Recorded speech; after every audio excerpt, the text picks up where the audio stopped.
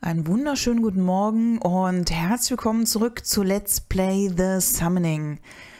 Ähm, ich bin schon mal noch mal unten aus dem Bereich mit Balthasar entflohen, denn der ist mir noch mal auf die Pelle gerutscht und während ich noch mal nach unserem neuen rostigen Schwert geschaut habe und ich habe leider unten unseren Schild vergessen. Ähm, aber ja, das ist nicht so schlimm, weil mir ist dann aufgefallen, warum wir diese rostige Klinge nicht verwenden konnten, weil sie zweihändig ist und eigentlich auch nur 20 Schaden. Aber ich hoffe mal, wenn wir mit der rostigen Klinge war doch irgendwas äh, von wegen Blutpakt und keine Ahnung, dass dann die rostige Klinge dann wirklich mal zu Warmonger wird. Ich gehe davon aus, dass das jetzt Warmonger ist, weil man uns auch gesagt hat, dass wir eine rostige Klinge finden werden.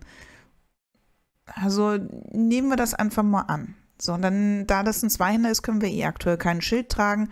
Unser altes Schwert haben wir noch und unsere beiden magischen Schilde haben wir auch noch. Also alles gar nicht ganz so schlimm.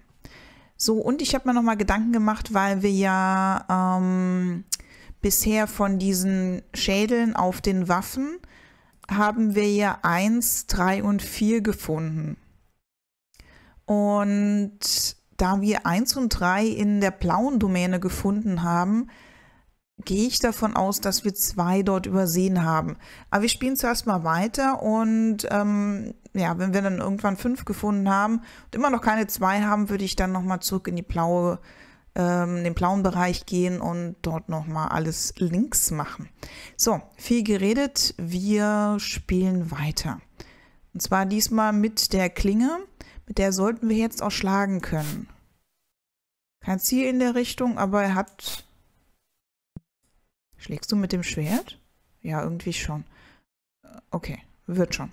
So, und die haben ja gesagt, ähm, Teleporter benutzen zum Zurückkehren. Dann machen wir das mal. Ah, jetzt sind wir, glaube ich, wieder in dem Verbindungsgang, ne?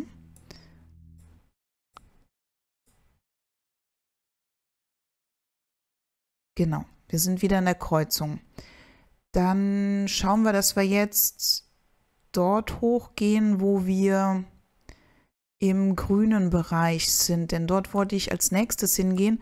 Denn auf dem Zugang dorthin haben wir auch noch äh, Gegenstände liegen lassen.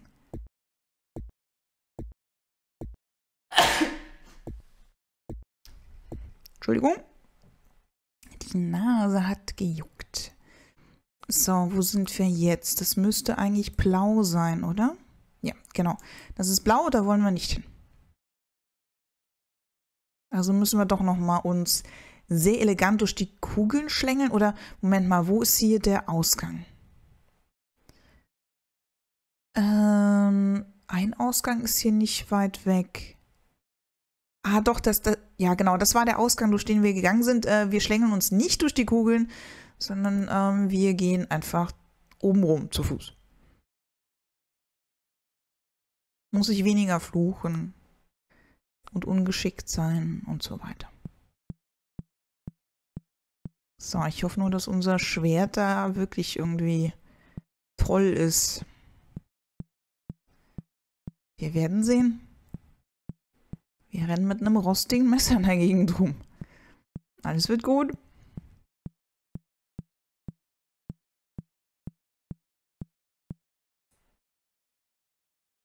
So, jetzt müssten wir bei Weiß sein.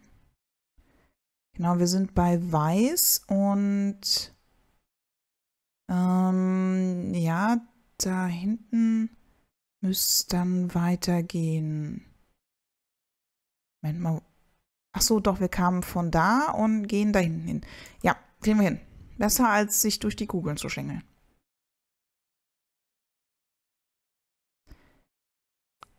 So, Liebesspiel. Wir laufen weiter. Ach, hier war doch auch irgendwo Balthasar, ne? Ah, ich glaube, wir müssen da hoch.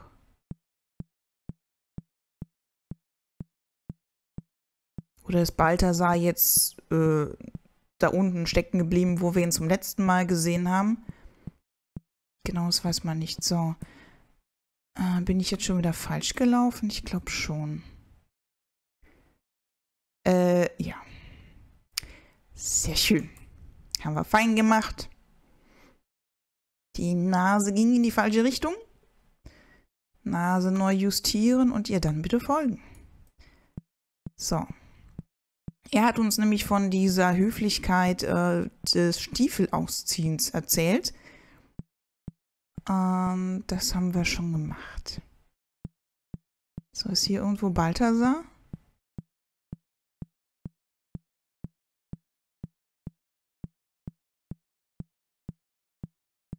Scheinbar nicht. Hm.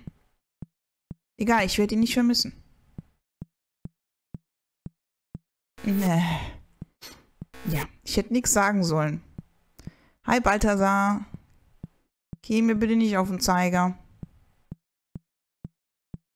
Niemand mag dich. Achso, da waren die Giftkugeln. Ich erinnere mich.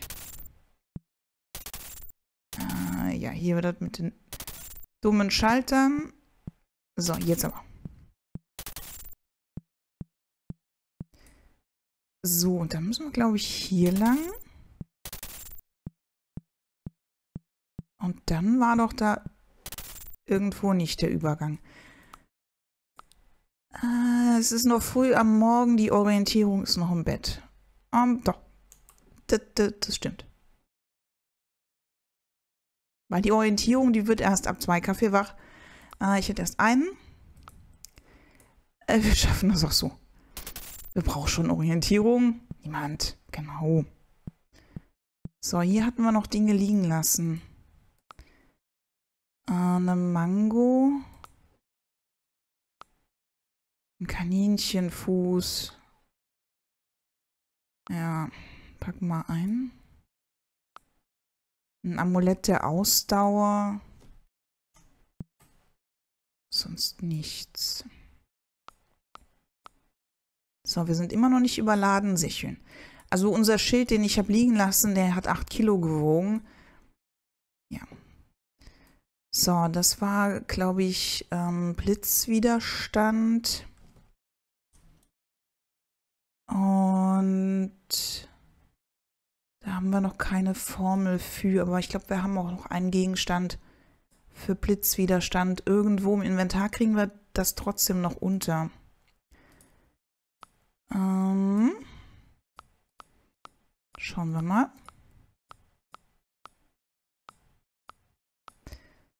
Nein, kriegen wir nicht unter.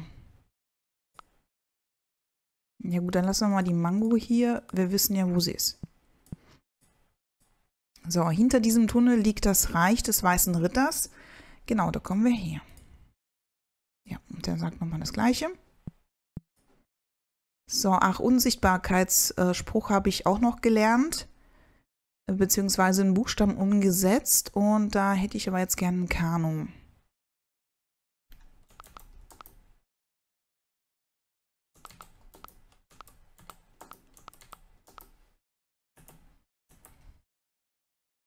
So, dann Marcano Tür. Ja, geht. So, wir kämpfen jetzt mit dem neuen Schwert. Könntest du mal bitte treffen? Äh, Beziehungsweise, äh, ja, treffen halt. Wäre mal eine Maßnahme. Wow. Wow, wir machen einen Schaden. Ähm. Das Schwert muss besser werden, weil so geht gar nicht. Schwert, gib dir bitte Mühe. Du sollst doch so eine tolle Waffe sein. Oder ich bin drauf reingefallen und du bist einfach nur ein altes, rostiges Messer.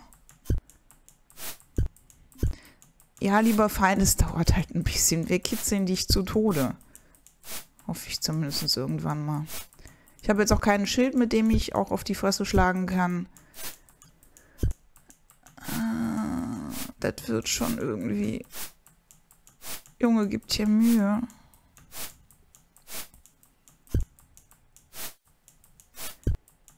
Wir kitzeln den Feind echt zu Tode.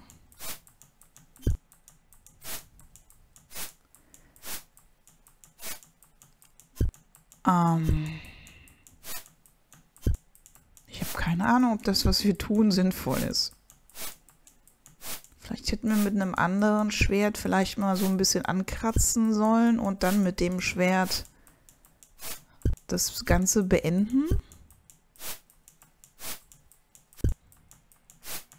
Vielleicht habe ich das mit dem Blutzoll auch falsch verstanden. Trink mal bitte was. Zum Glück haben wir einen sehr verständnisvollen Gegner. Hä? Äh, keine Ahnung, was das jetzt soll. Hä? Eine verrostete Klinge? Eine, die zu meinen Gedanken spricht? Noch nie habe ich... Ich bin schwach. Im Moment erscheine ich nur wie eine verrostete Klinge. Ich bin Warmonger. Füttere mich und ich bringe dir Ruhm. Füttere mich und ich helfe dir.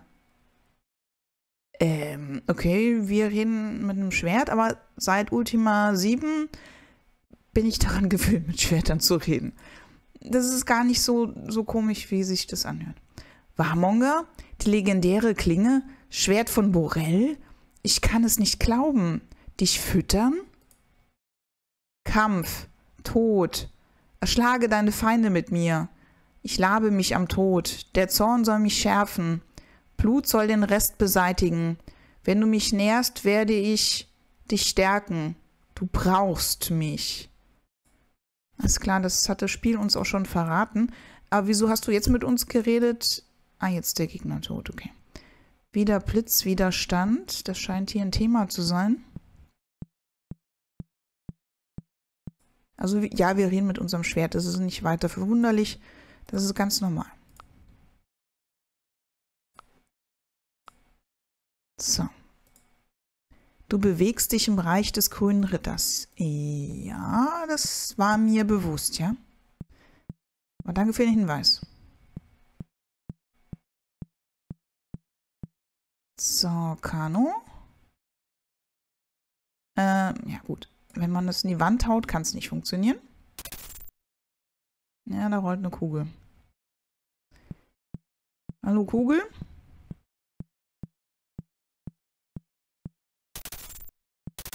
So, einfach. Hä? Ach, stimmt. Ja, man hat uns doch gesagt, dass der grüne Ritter der Schwächste ist und dass wir mit dem verhandeln sollen. Ich war mich gerade voll erschrocken. Aber ja, du siehst sehr grün aus, also wirst du wahrscheinlich der grüne Ritter sein. Schließlich bist du also gekommen, Sinalur. Willkommen in meinem Reich, dem Reich des grünen Ritters. Überrascht, dass ich deinen Namen kenne? Ich kenne auch deine Absichten. Meine Spione haben dich genau beobachtet. Das ist nicht irgendwie gruselig. Wenn du meine Ziele kennst, warum lebe ich dann immer noch?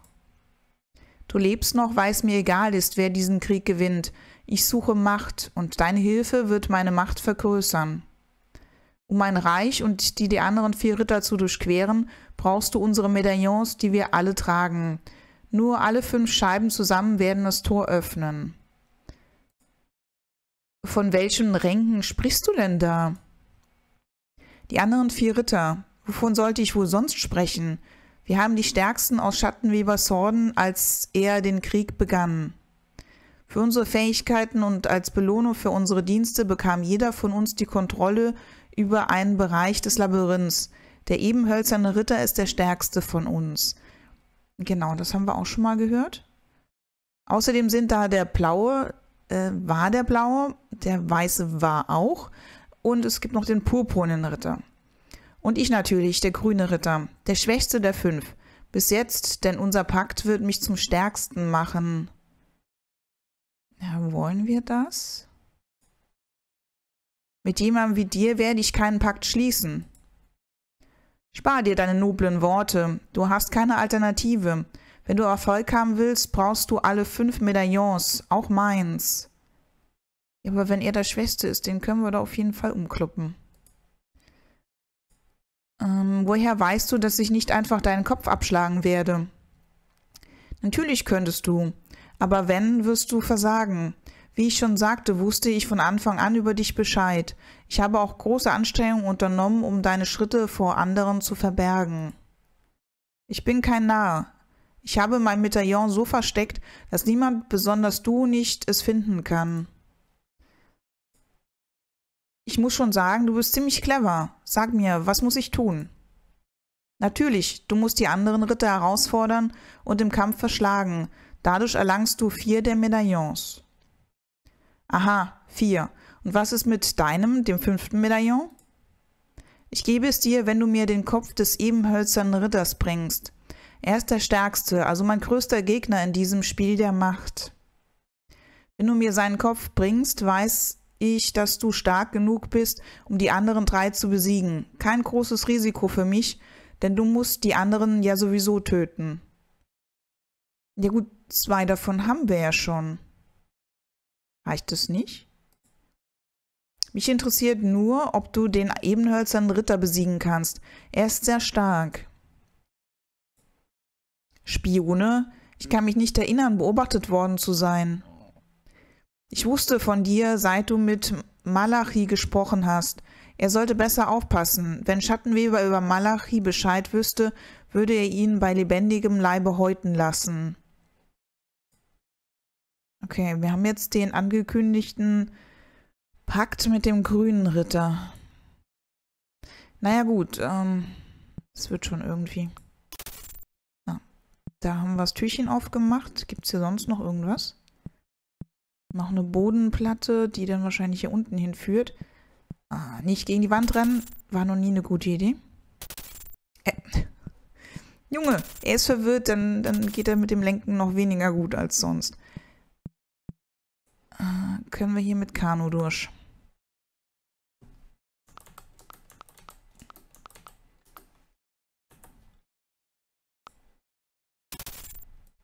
Ja, können wir. Hallo. Oh, wir machen 21 Schaden. Wahnsinn.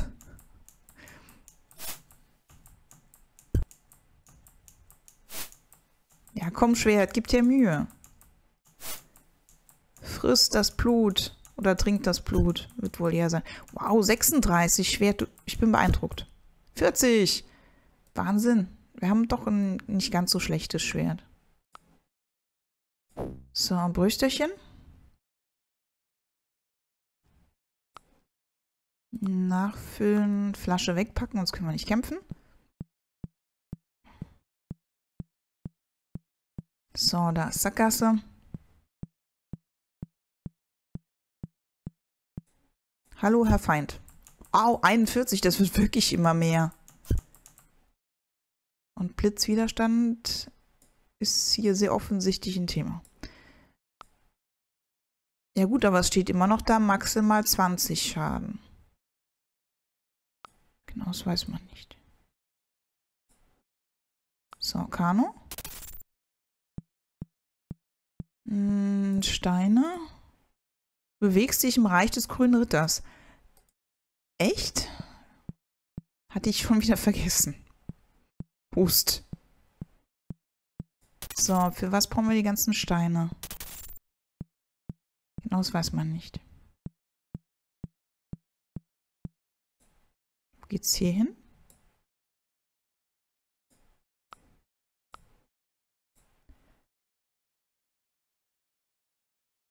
Purpurnes Reich.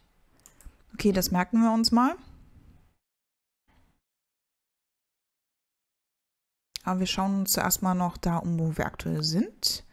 Nämlich im Grünen Reich. Falls ihr es vergessen haben solltet, wir waren im Grünen Reich. Dann schauen wir dort nochmal auf die Karte, wo wir aktuell sind und wo wir hinwollen. Ähm, ja gut, dann wieder zurück zum grünen Ritter und von ihm dann nach Norden. Alles klar. Aber warum liegen diese ganzen Steine um den Schädel rum? Das kann ich euch halt auch nicht sagen.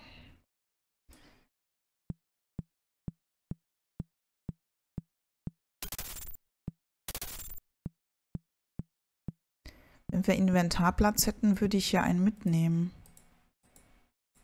Würden wir das vom Gewicht her schaffen? Ja, wir würden es vom Gewicht her schaffen. Hm. Ein Gegenstand, den wir hier lassen könnten.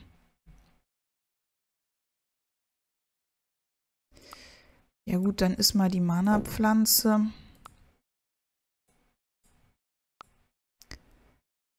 Und dann packst du das Amulett mal noch ins Säckchen. Dann hätten wir einen Platz frei für einen Stein. Einen Brocken. Was auch immer. Wir haben einen Brocken dabei. Und sind trotzdem nicht überladen. Das ist sehr schön.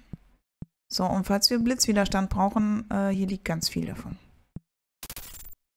So, jetzt sind wir wieder beim grünen Ritter und wollen dort nach Norden. Hallo, Kollege. So, da hat sich scheinbar zuerst mal nichts getan, aber wenn man nichts hört, heißt das ja nichts. Äh, geh, gehe den sichersten Weg oder zahle deinen Preis. Ähm, welcher Preis und was ist der sicherste Weg? Oh, okay, ich habe verstanden. Hallo Glühwürmchen.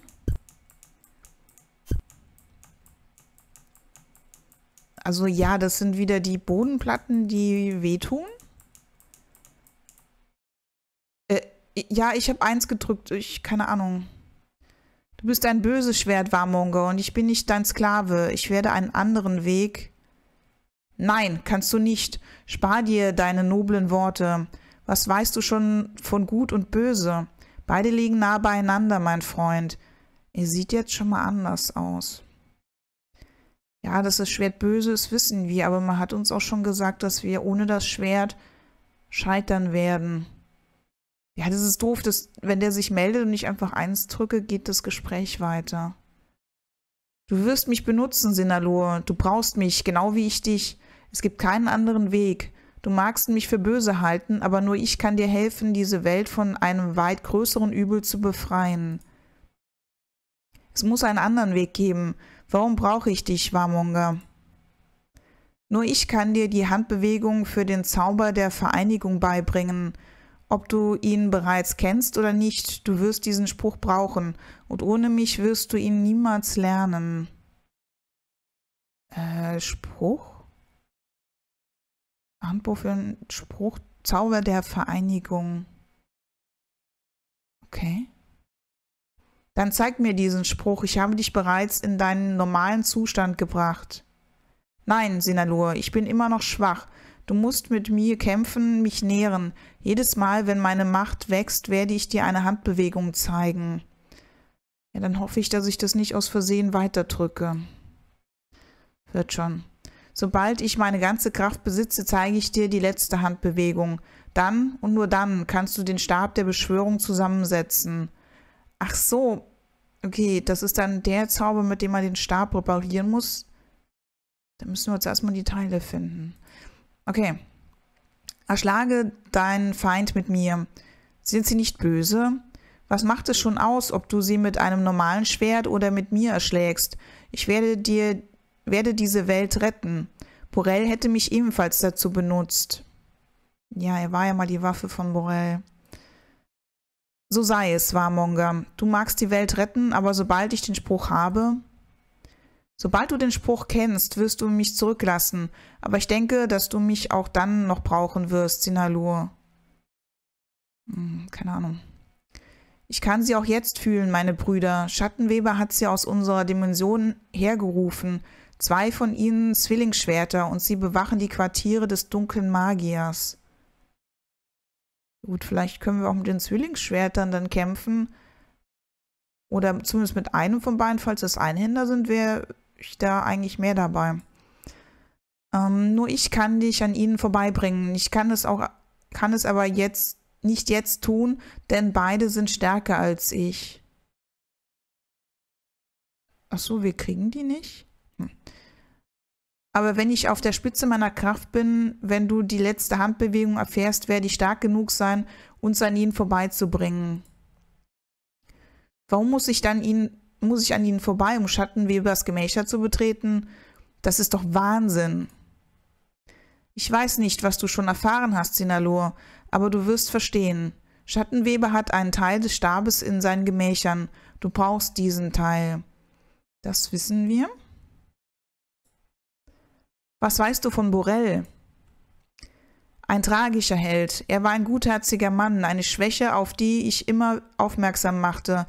Nichtsdestotrotz verstand er mich und ich ihn. Es gibt immer noch ein starkes Band zwischen Borel und mir.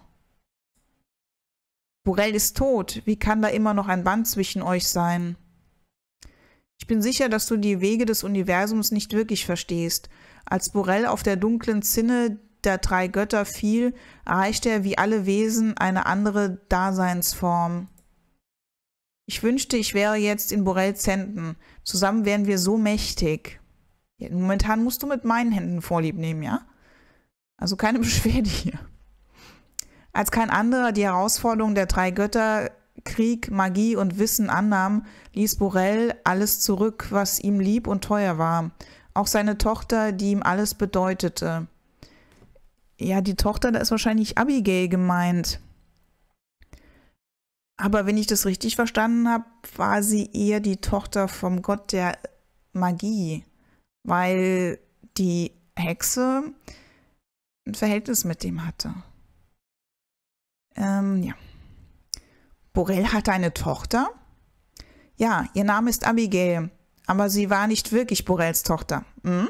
Nein, sie entstand aus der Verbindung ihrer Mutter Chessandra und dem Gott der Magie. Sag ich doch. Ich habe die Einleitung gelesen.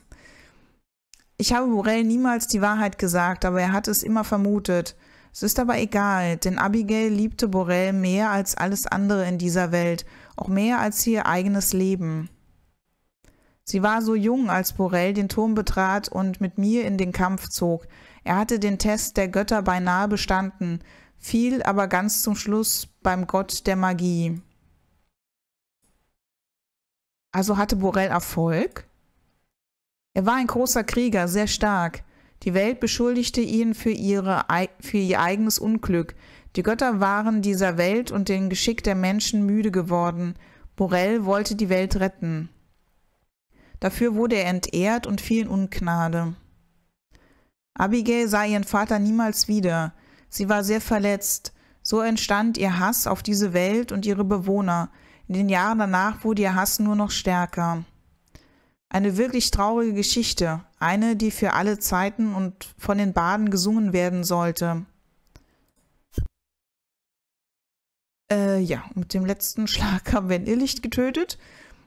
Und in der nächsten Folge schauen wir mal, was hier mit den Bodenplatten da so los ist. Ah, unser Schwert sieht jetzt auch wirklich anders aus. Oh, und jetzt maximal 60 Schaden. Okay, das ist das Dreifache wie vorher. Alles klar, ähm, wir gehen in die Pause. Bis gleich.